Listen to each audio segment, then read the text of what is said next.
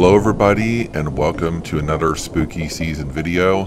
For today we'll be going through and looking at the details of Michael's new Wicked Garden Halloween Decor 2023. Please hit that like and subscribe button so I can bring you more fun and entertaining content. And please comment below as to whether you've been to Michael's, what your theme is this year, and what your favorite item is. Now let's finish watching this entire video of Michael's Wicked Garden Halloween Decor.